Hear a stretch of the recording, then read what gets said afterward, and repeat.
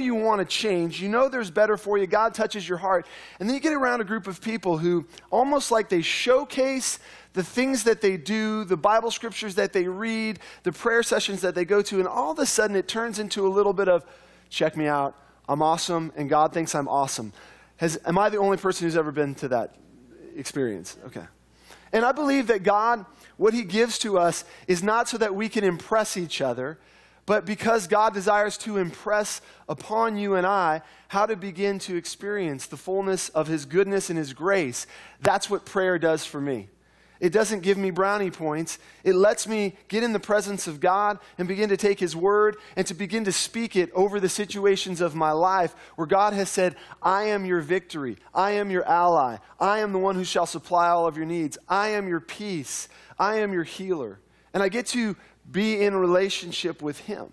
And I can have the choice of not being in relationship with Him, and then I get to live in the words and the experience of life that comes and heaps. You're not good enough, you're not smart enough, and doggone it, people do not like you. And you all of a sudden have to live in the drudgery of every day with this expectation will, is this the cycle? I get a job, I get an education, I raise some kids, I shower, I brush my teeth, and then I teach my children to do that. And God has so much more for us. I was thinking about coming into today some elements of the laws of gravity and some of the laws of aerodynamics that have existed throughout the ages. And they, have been in existence and they've, they've been there for each and every one of us to, to be able to grab hold of. But it wasn't until the Wright brothers decided to harness the wisdom of the laws of gravity and aerodynamics that they began to soar. And some of us, we, you'd agree with that, right? I mean, you'd agree that that happened, that the laws of gravity and aerodynamics, they, they existed. But it wasn't until two people dared to believe that they could tap into those things in order for them to soar. And I have this feeling in my heart and a stirring that God wants us to begin to take flight in 2013. And it's going to come as the result of us not just giving lip service or just uh, hearing some information, but for us harnessing the very laws that God has had in existence so that we can begin to put them into practice, so that we can begin to step out and test them like the Wright brothers did, so we can begin to soar in every area of our lives. And so, for the next several weeks, we are going to dive headfirst because this is where I am at, and you get to follow me as I am leading us at E3 Church in uncovering some of the strategies of the wealthiest and smartest and wisest of individuals ever, and that is Solomon. Solomon, and appropriately titled Solomon's Strategies.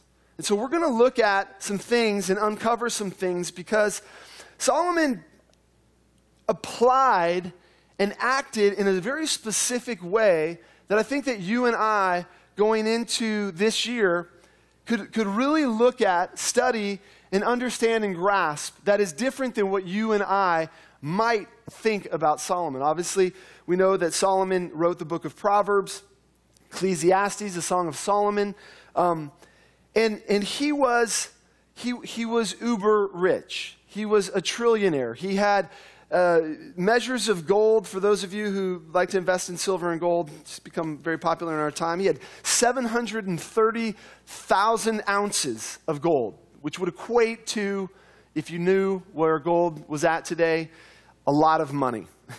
exactly. Now, Solomon almost got robbed. He was the son of King David, the son of Bathsheba which is interesting, but I'm not going to go down that road. But he was the son of King David, and he almost got the, the kingdom when David was on his deathbed robbed from him. But his mom sort of brought him to King David, and it was his natural, it was, it was the progression that was to take place, what King David had on his heart.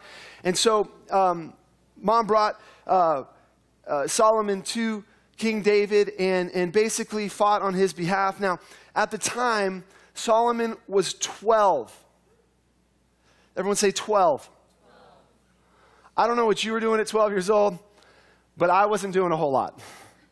I mean, maybe it was the dawn of Sega or Nintendo 64. I don't really remember. It's been a while ago. But 12 years old, God calls on Solomon to be the king. And Solomon was super excited to lead. Not true. Actually, he was freaked out. He was terrified. And he does some things that is pretty huge that you and I, I believe, for the tone of this year, we need to grasp a hold of. Now, Bible says that Solomon was wiser than all men. Second Chronicles 9:22 it says King Solomon became greater than all the kings of the earth in riches and in wisdom.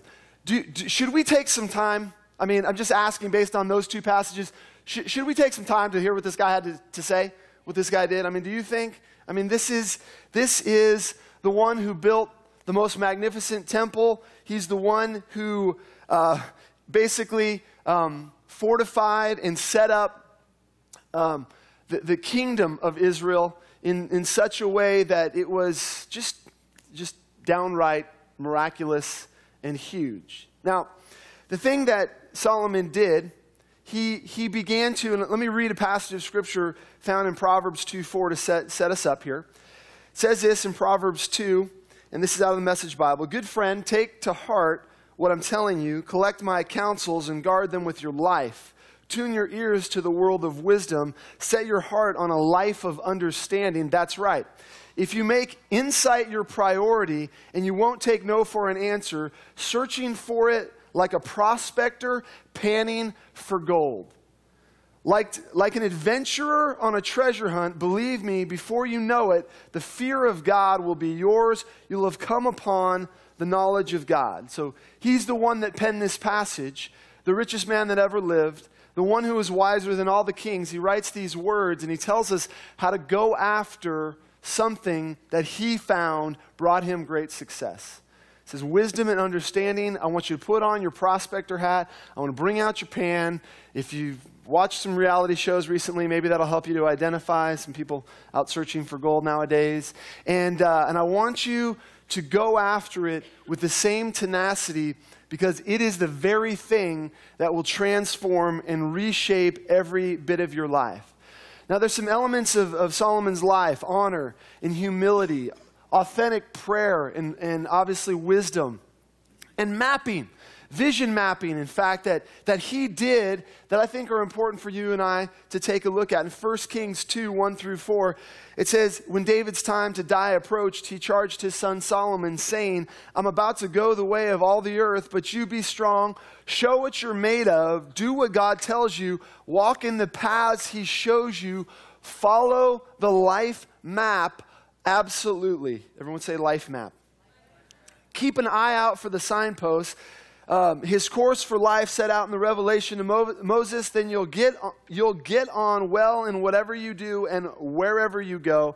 Then God will confirm what he promised me when he said, If your sons watch their step, staying true to me, heart and soul, you'll always have a successor on Israel's throne. We actually know that uh, what I appreciate about Solomon, and all of his wisdom, he also had a little bit of a rocky life. There were parts of his life where he followed true, um, really what God had set aside for him. And there were times when he sort of backed off on it. if you watch the last portion of his lives, he had a lot of wives and a lot of heartache then ensued. But we're not going to be talking about that portion of his life. We're going to be talking about the part where he sought after wisdom. Now, the first thing we see that happens in his terrified state. And this translates for you and I. If you're experiencing any type of fear for the future, for what lies ahead, for what God's placed on your heart, what He's called you to do, wondering when it will come to pass, wondering if it will happen, trying to lift yourself up to make sure that it all gets organized because God, you know, He's just not coming through on the time plan that you're thinking. Listen to what He does as He's terrified.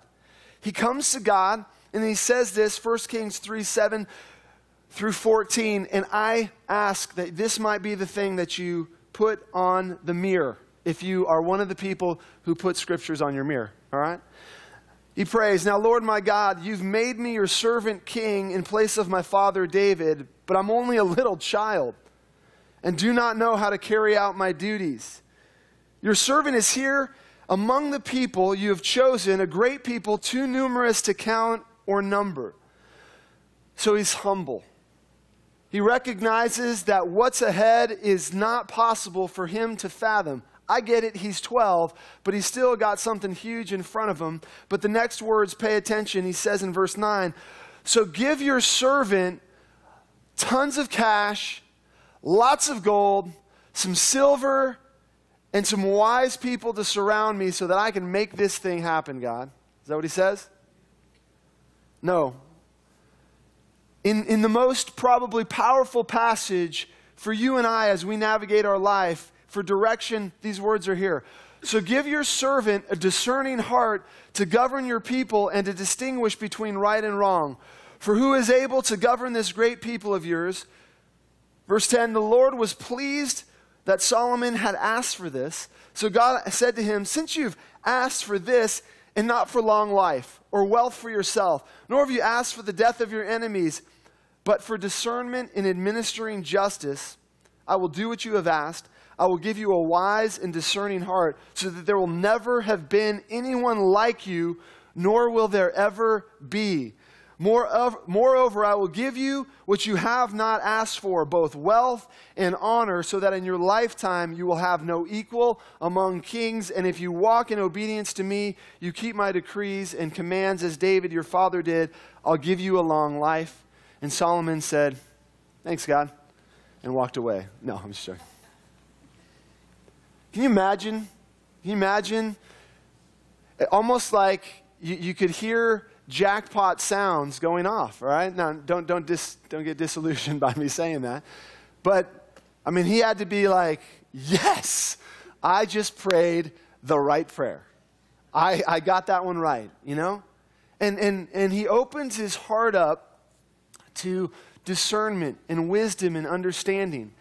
And truly, I believe that, that God wants to awaken us to the same thing. Sometimes, you know, and we see throughout Proverbs, Ecclesiastes, where Solomon gives us insight that quick wealth, don't, don't do it. it just goes away. I mean, we know lottery winners, percentage wise, they all lose it, or individuals who want to short, short change and short circuit the system because ultimately we don't want to really trust in, in, in basically what God has set aside for us to be able to believe that he's our, he's our provider, He's our supplier, that he, what He's given us, Deuteronomy 8 18 says this, that God has given you the power to get wealth. That's in the Bible. I did not fake that or make it up. The Bible says in Deuteronomy 8:18 that God has given you the power to get wealth. A lot of times when we start to trust or believe God, uh, sometimes we short circuit that somebody comes up to us and says, and I've had a lot of these, I don't know about you, gives us a new fandangled way to make some super quick, awesome cash. And we're like, that sounds pretty good. That sounds pretty awesome. But Solomon always tells us, beware. It, even if it happens, even if you make a bunch, just beware because the way that you get something that quickly, it just really won't be that important to you. And something will happen, and I don't know about you, but it'll just kind of flee by the side. And so he opens us up and, and he awakens us. And I want to be a person that is, is pursuing what God has in store for my life, for our church, for your lives. I want to lead us in a way that you and I begin to seek God's wisdom and his understanding before anything and before everything. Can you get on that page with me? I mean, as opposed to imagining all the things that could happen. Now, let me tell you a little, let me just share this little nugget as a pastor of E3 Church. When, when Noel and I came to this city, God had, had, had laid something on my heart, some specific words, and this is all I got, okay? This is, this is it. Many of you know, Brad, I want you to reach the city. Now, I have spent close to nine years understanding what God had in mind. And some have, have likened me to a moron. Uh, some have wondered. And during that time period, I've had other people that have come. I'm just giving you my life example. How about that?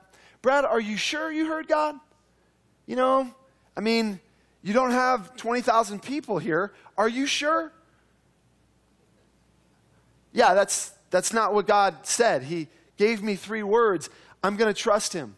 I'm going to believe him. I'm going to watch as he leads because he just told me, God, or Brad, he didn't call me God. Brad, sorry. Brad, I want you to reach the city. Now, as I look back, I see the wisdom and the discernment and the understanding as God has peeled off layers in my life so that he's opened my heart up to have a passion more for specific areas in our city and people and, and, and groups. And he's made me more likable um, I mean, I've been, I, I was a part of a very large church, and I was very good at doing some things in large church and being I just, anyway, and, and people would say, wow, he seems like a very nice young man. He, he must love the Lord, and I did all the things. And God sort of like messed my hair up and put some, some Converse on my feet and was like, Brad, I want you to learn how to love people. And, and some people have said, Brad, you're crazy. Why do you work a full time job? Because I had spent 11 years in full time ministry, and, and all I knew was the culture of church. All I knew was bringing people to church and doing church things. And God said, You know what, Brad? I want you to try to establish a place where life would not center around church because the church is not the building, the people are the church. I want life or I want church to revolve around life? And would we begin to integrate and see and be in places where people are at so that people could experience the love of God? But it's still been a long time. And, and I, I just, I think early on, just gave up what God had in mind necessarily specifically as to what it meant when He said, reach the city. And I decided I wanted to trust Him and to follow His wisdom and His understanding and His lordship and His leadership so that I wouldn't, in my puny brain, attach anything to it. Have you ever done that? Have you ever attached any meaning to exactly what God said or, or He gave to your heart? Did you make it mean something? Did you build a picture? Did you, did you have in mind when it would happen? Yes, you did. Okay, I answered for you. You did. You do. Because we're impatient. We're like my four year old who just cannot, you know, Dad, come on, Dad, you know, that's how we are. And God says, I know you. I know you. You're not, just trust me. I'm, I'm ready, God, do this. Blow it up. Let's do it, God. No, no. Pay attention. Seek after wisdom. Seek after understanding. Learn to bloom where you're planted. Learn to look out your door at your neighbors. Learn to love people. Learn to open up your heart. Learn to be generous. I got to be important. Got to be awesome, God. Make me awesome. I want your purpose for my life if I'm awesome. That's all I want, to be awesome. I mean, I, I, God has never led me wrong, but sometimes I have to let go of what I think is awesome. And I'll tell you what, what God has and what He sees as awesome for you is so far beyond what you think is awesome because you don't even know awesome. I mean, He made the planet, He is the creator of the masterpiece, so you are not, right? And so I want to be a person that is seeking His wisdom and seeking understanding so that I, at the right moment, when, when God begins to start to set things in, in motion and alignment, that I am prepared. Now, I don't want to take away expectation. I don't want to take away our heart because that, that has never gone from me.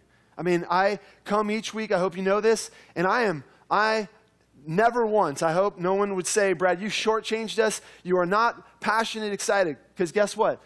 God's never left me. He never, I, I don't, I'm not sad if there was one of you here or if it was just me.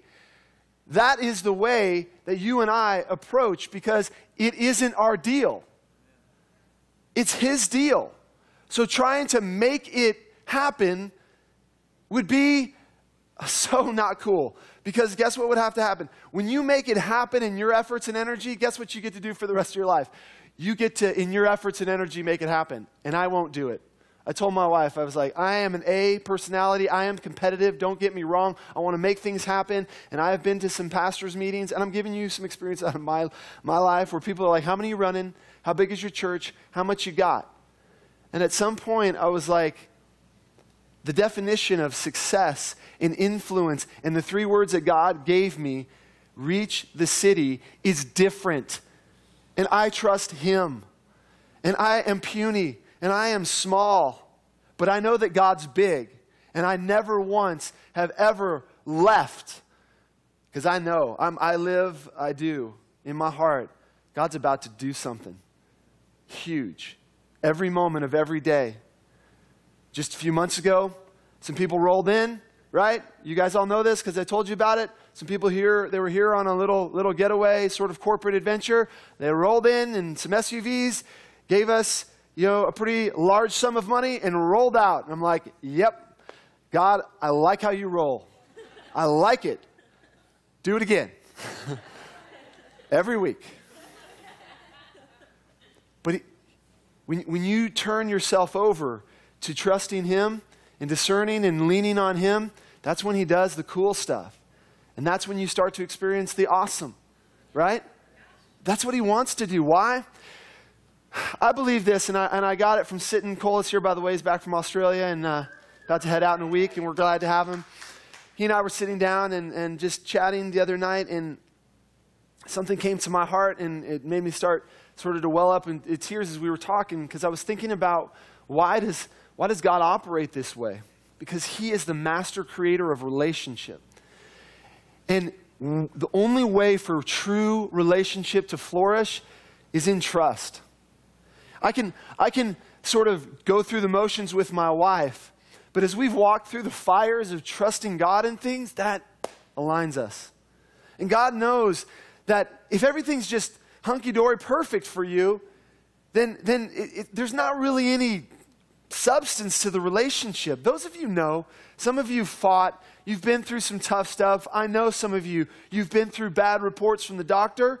You've been through financial crisis and hardship. You've been ugly to one another, and then you've come out still. I don't know about you, but Noel and I have been through some things like that. And the fact that we're still standing together only opens my heart bigger to her because we fought and we made it. And we're still standing. We may have a few flames that were like this on, but I swear to you, when you start to think about it, and some of you, as you've imagined what it might be like, I'm sorry, this is just coming and I have to probably be quiet soon, but some of you have imagined because you've, you've been through the tenacity and the fight in that relationship, and you've imagined, well, well, gee, I wonder if it'd be any easier with, I see this person over here. No, no, it won't. Because the fighting and the battling and the struggles and the scars that you have give voice to victory of your relationship. And even though it doesn't feel perfect, guess what? You're still standing. And that feeling that you don't have can easily become a roaring fire of immense passion and love and goodness. And all you have to do is just give attention and focus to it. And all you have to do is open your heart. Because that's the beauty as we trust God and what He's given to us.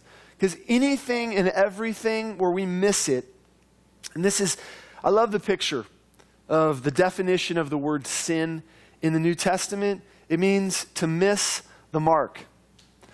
And, and I try to define this a lot. This gets a little bit, you know, uh, you know, sometimes we, we think about it and sometimes we don't. But God has a prize set aside in His wisdom, in His discernment, and His understanding. Everything that He brings to your attention in Scripture is the high prize. And where we, where we sin or we miss it is when we begin to believe and not trust that that high prize is not the very best that God has for us, so we try other things. I can identify those things as what we know as sin. See, because our definition of sin means to be separated from God and for us to burn in hell. Wrong. Because Jesus, 100% at the cross and through his resurrection, obliterated the problem of separation between you and me. Our only responsibility is to respond to his love and accept him into our lives. And you and I, the Bible says, become a new creation in Christ Jesus. Now, second part here, though, where sin enters in, is when we start to trust the very best possible way to live. Now, guys and girls, sorry, pornography, okay, sin, missing the mark, because the high prize that God has set up gets distracted in our brains. And instead of feeling condemnation and guilt, God's desire is not for us to, to go through the motions of condemnation and guilt and God, forgive me, I'm sorry, I'm sorry. God's desire is that you and I would get a picture of the high prize of what He has for you in your relationship and trust that all of it, the intimacy, the relationship, the communication, can be the very best possible thing you've ever imagined. Are you with me? Whoa, it was a little quiet on that one. okay, let's move on to something else. I feel like, I'm, uh, now I'm uh, going to tell jokes or something. Um, you, you fashion that to anything that God set up. Why? You know, oftentimes, you know, I, I look throughout the Bible and, you know, some of you who've been hanging around E3, and I haven't even gotten to my notes yet. This is not good. This is not good. Stop for just a second. Let's, let's, let's dive into this. The wisdom and the discernment and the understanding that God has set up for you in your life to be able to operate in generosity, in forgiveness, in trust. In anything that you think is like sin, my desire is that your perspective would change to look at it from wisdom. Do you know why? Uh, I, I like to bring up the ones that, oh my God. You know why adultery is, is a bad deal? Because this relationship doesn't get to be the very best possible thing if I'm having an affair over here. Okay? Whoa, okay. You know, before you get all scared, you know why? Because the energy and effort that would go to make this the very best possible thing, it gets stolen. Are you with me? I mean, God's not like out to get you. He's like, hey, check this out. If you want this thing to be awesome, then, then diverting yourself and distracting yourself over here, it's just not going to be any good. But we want, you know, church, we got to get this too because you know, we want to crucify sinners. No, that's not, that's not what God's desire is. God's desire is, and I was telling somebody this the other night, it's like, do you believe, as a follower of Jesus, do you believe that this is the best possible way to live? Some of you, you, you may say, yes, I do. But if you took account of your life, the answer is, no, I don't. And that's, I, am not busting on you. I guess I would say, why not ask for some wisdom and understanding to get perspective so that you could understand the best possible thing that God has for you? Is that all right to say? And then, when you get it and you get excited about it, guess what? Other people that are surrounding you who are living contrary to the best possible way to live, instead of making them feel guilty and horrible and bad, and I'm a Christian and I don't do that stuff and I don't do this and do that, what if they began to be showed by a group of people that this is the best possible way to live? And as a community, we, we didn't, you know, make people feel bad uh, if they didn't, you know, experienced this thing, but what if we opened up our hearts and we said, you know, listen, here's what I've experienced. And I want us this year to look at that. Because I think that there's some things to tap into, like the laws of gravity and like the laws of aerodynamics, for us to begin to soar in. And this whole hero challenge for me has been about us transforming, us taking and, and, and, and surrendering and opening up our hearts so that we could see it. Are you with me? Your relationships, your physical body, what does God have to say about it? I mean, some of you, if you trusted what God said about you, then your whole identity and the fact of your roller coaster of feeling bad and then feeling better and feeling bad and, and thinking that you're a failure and then this and that and the other, if you trusted God, what He said about you, that you are fearfully and wonderfully made, that He lives on the inside of you, that He'll never leave you for, or forsake you. If you believe that, that would lead you to the best possible life. If you looked at your finances and you recognize that God's desire for us, because He, he emulated it, He gave. Generosity is awesome. I, I, I don't even know what else to say besides it's awesome. And it doesn't start with having a lot, it starts with a perspective change. How can I be generous? Who can I make some cookies for? Who can I call up on the phone and tell them that they're awesome? How can I live my life in such a way? Because Jesus demonstrated it.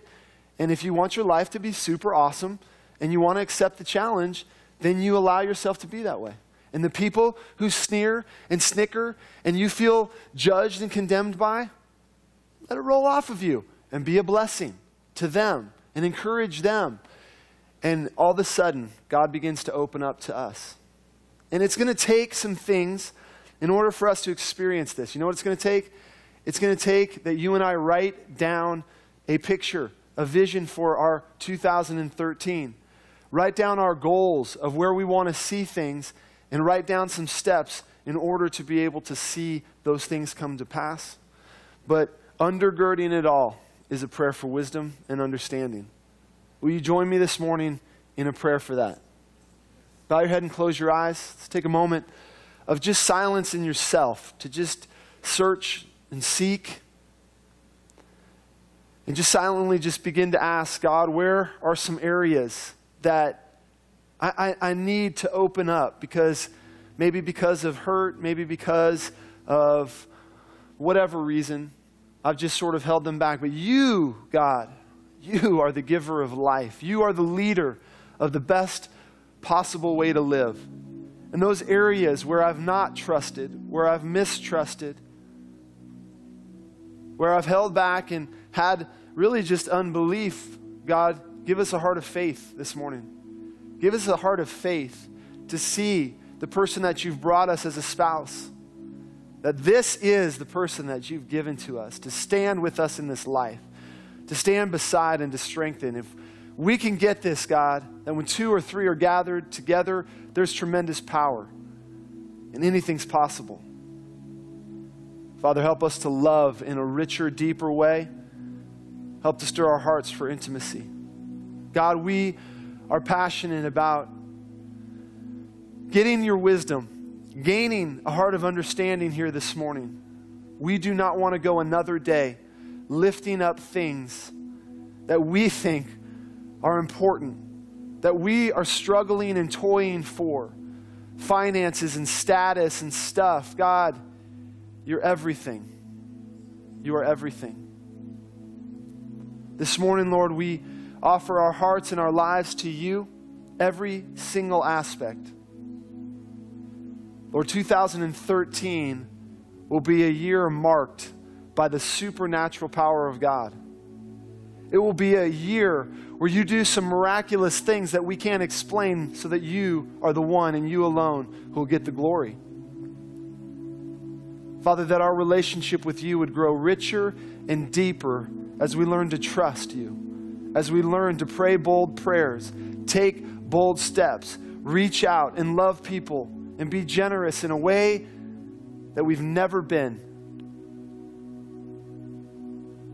God, we love you. You can be trusted.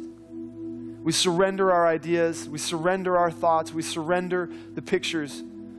We just want you. Thank you for every relationship and friendship and marriage and person and everything that it represents, God. Lead us, guide us, and use us. In Jesus' name, amen.